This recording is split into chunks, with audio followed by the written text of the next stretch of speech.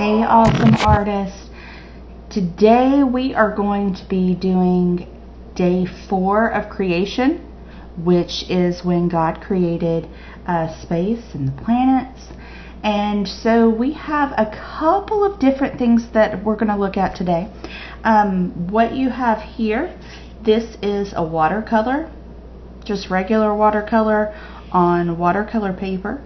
And then the little little spots that kind of look like the stars, that is just salt um, being put on the wet watercolor and it soaks up some of that water and that's what you're left with. Um, another option, this is just black paper with crayons because some of us don't have all the different things. These two are um, black paper and I used a sidewalk chalk. So those are options. And then the two that we're going to focus on today are my new favorite things. Um, this is washable marker and using water and a brush it makes it look like watercolor. And then I use the same technique with the watercolor. I put the salt on that wet um, washable marker after I use the water and brush on it. And that's what we're left with. So we are going to uh, learn a new technique today to create these and I'm super excited about it. So we're going to start with, notice it's a small piece of white paper, a thick piece of paper. You don't want to use um, something that's real thin because we are going to use water so it will um, if you use too much water it would put a hole in your artwork and that would not be good um, you're also going to use a sandwich bag and I just cut this open because we're going to do a very technical term. We're going to smush. We're going to be smushing. So we're going to use some washable markers. I'm going to use the blue. I'm going to use a black. I'm going to use a purple. If you want to use green, you can use green, but these are uh, the colors that I'm going to use today. And we're going to start with the purple. And this is not going to look pretty when we first start, but it will look awesome when we're done. So I'm just going to color on my sandwich bag some purple.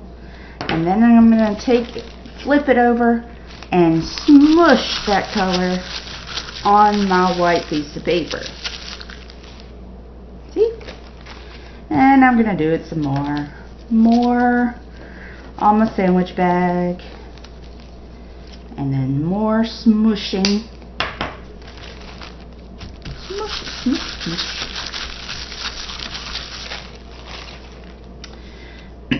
so then I have the purple. So I'm going to go in for some blue. Color on that sandwich bag. And smush it, smush it, smush.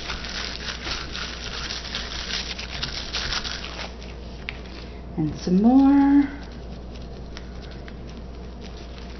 And more smushing.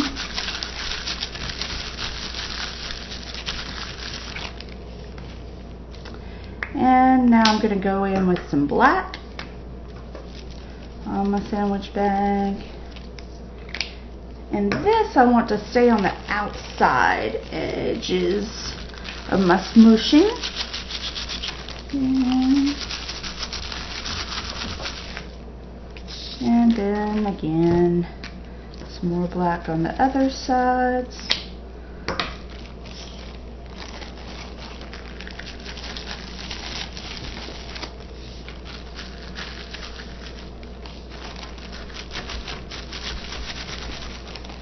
My fingers are getting a little messy, but it's alright because it's art and it's also washable ink. So now I've got kind of a messy looking piece of paper, but look how cool this is.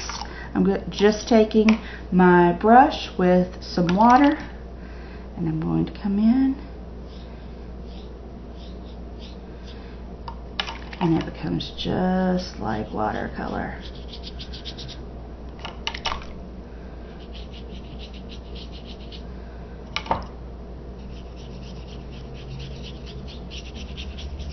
And I'm loving how it's looking.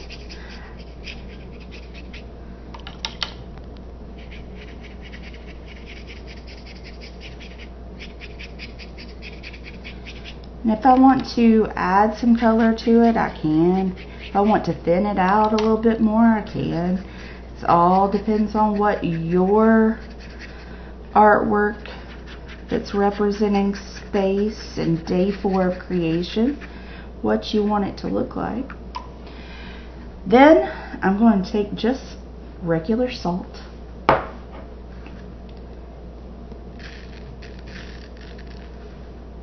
and see how it just sucks that water up. How cool. And that is my space using the smooshing method and washable